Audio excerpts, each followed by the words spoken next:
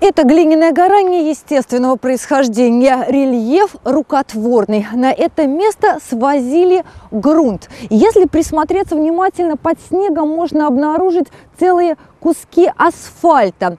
Грунт сюда свозили КАМАЗами. И, судя по масштабам свалки, выгрузили не одну машину. Ущерб для природы от таких э, свалок оценивается в сумму от 30 до 150 тысяч рублей за каждый грузовик.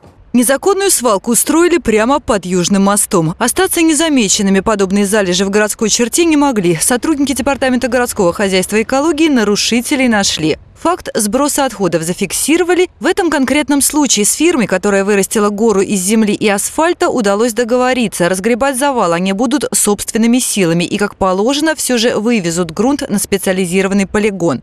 Нелегальным свалкам объявлен бой. Рейды по поиску нарушителей проходят ежедневно. Вооружившись видеокамерами и фотоаппаратами, сотрудники Департамента городского хозяйства и экологии сидят в засаде рядом с излюбленными местами для сброса отходов, а порой и выслеживают подозрительные машины. Фиксируем, что КАМАЗы едут с какими-либо отходами.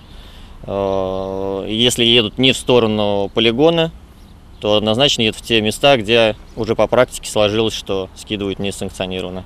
Был грунт э, со строительных площадок, вывозился. Э, то есть он должен был вывозиться на плановый полигон, но вывозился в те места, где мы их зафиксировали.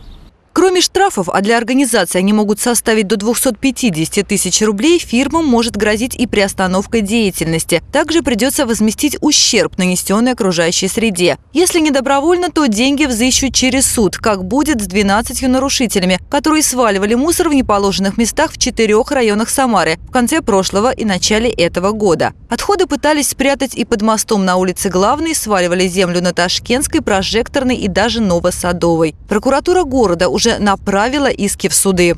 Общий вред, причиненный окружающей среде, составил около 1 миллиона рублей.